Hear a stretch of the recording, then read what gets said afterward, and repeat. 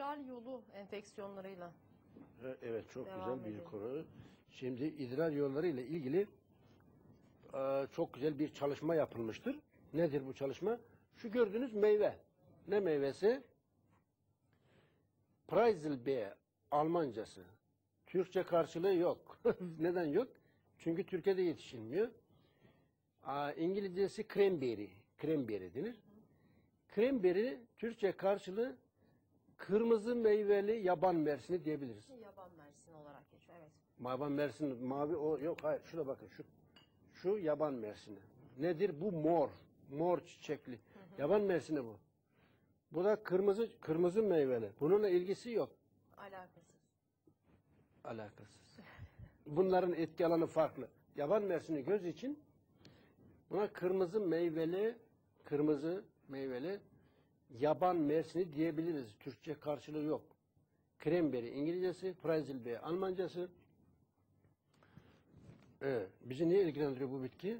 Bununla ilgili yapılan klinik araştırmalarda idrar yolları enfeksiyonunu önlediği belgelenmiştir. İdrar yolları enfeksiyonu genellikle E. coli bakterisi sebep olur. E. coli bakterisi bağırsaklarda kaldığı sürece o da şu bakteri göstereyim resmini çok böyle bir sürü şöyle şurada görüntüsü gösterebilirse gördüğünüz gibi solucana benzer fakat böyle bir sürü ahtapot gibi kolları var. E. coli bakterisi. E. coli bakterisi bağırsaklarda kaldığı sürece zararsız. İdrar yollarıyla mesene ulaşırsa sistiti intersistiyal tetikler. Üretra darlığına sebep olur. İdrar yolları enfeksiyonuna sebep olur.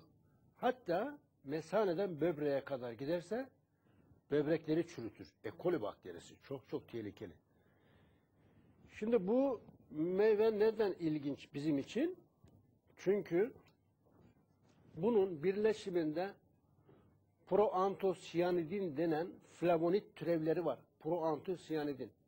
Bu meyvenin birleşimindeki proantosiyanidin denen etken maddenin bakteri öldürdüğü tespit edilmiştir. Fakat tabi bir gün iki gün değil. Ee, Şimdi şunu ekol, ekoli bakterisini şuna benzetebiliriz. Köpeğiniz var. Size zarar verir mi? Vermez. Kudu dolusa ne yapar? Tanımaz. Saldırır herkese. Bağırsaklarda E. coli bakterisi kaldığı sürece problem yok. İdrar yollarına geçtiği zaman kuduz olur.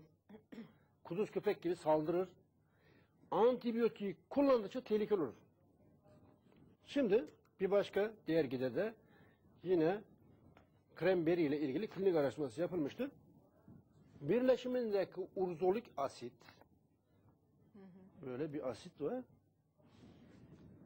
Tümörü eritici olduğu ve yani antitümörel yani kansere karşı etkili olduğu belgelenmiştir. Kremberinin birleşimindeki etken maddelerden biri de urzolik asit. Urzol ve türevleri. Evet, Bir telefon bağlantısı. Kansere karşı etkili. Böyle işte bu kremberi ilgili, kremberi ile ilgili yapılan klinik araştırmalarda bunun birleşimindeki urzolik asit e, antitümörel yani tümörü eritici, kansere karşı etkili olduğu son yapılan klinik araştırmalarda belgelenmiştir. Çok enteresan buluşlar yapıldı. Mükemmel bir şey.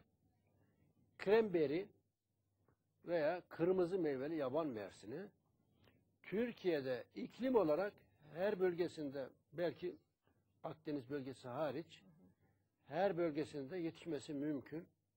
Herkes bahçesine ekebilir. Meyvesi tadı güzel, yenmesi güzel.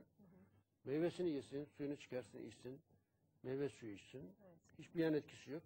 Vücudu temizler, arıtır, bağışıklık sistemini güçlendirir, kansere karşı etkili, antioksidan, anti-aging, idrar yolları enfeksiyonuna karşı etkili ve hiçbir yan etkisi yok. Mükemmel bir meyve.